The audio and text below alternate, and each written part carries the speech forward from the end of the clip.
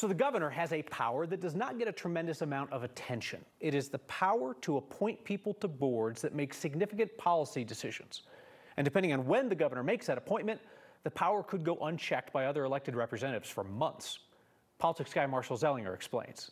We have the privilege of having three new commissioners this morning. The July meeting of the Colorado Parks and Wildlife Commission began with the introduction of three new commissioners. Jess Beaulieu, Gary Skiba, and Jack Murphy.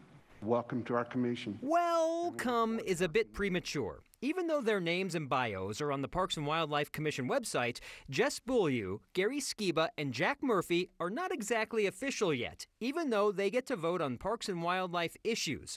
The three of them were appointed in July by Democratic Governor Jared Polis.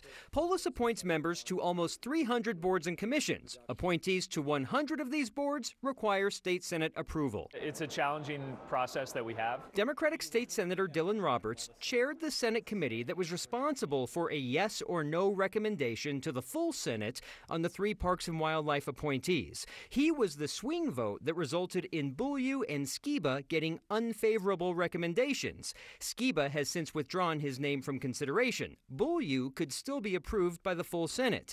They both participated in four meetings since being appointed, but not yet confirmed. But it certainly could um, maybe be improved to make sure that uh, every appointment uh, can't make critical decisions without having their Senate confirmation. State law is on the governor's side. If an appointment is made after the legislative session ends in early May, that appointee can serve until the Senate is back again the next year. It's coming to mind right now. We could have like a confirmation special session every year in October or something to, or November to to clean up all the appointments that have come through since we got done in May. There are only two ways for the legislature to meet after May call themselves back into session with two thirds support, or have the governor call a special session. And I doubt he would call us back to confirm con- controversial appointments that he had made.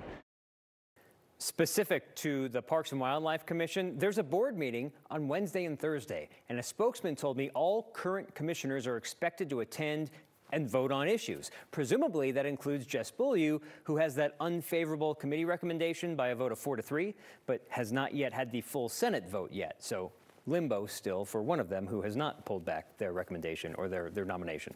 This is kind of deep, nerdy stuff, but there's a, there's a reason why every time those emails come in with the appointments from the governor, the two of us scan through them really quick, looking for people that we know about. Right because we know that there's great power that comes with those assignments. Yeah, I've always been like, oh, who's, who, whose name do I recognize and why did they get this specific thing that nobody really pays attention to except for the two of us nerds here? Uh, but the secret apparently is if you do it from May to December, they've got more power than if you do it from January to May, because if you do it in January to May, they cannot start serving until they are confirmed because the Senate is in action at that point. I'm going to guess the mayor's team knows, or the governor's team knows that. All right, Marshall Zelinger, thank you.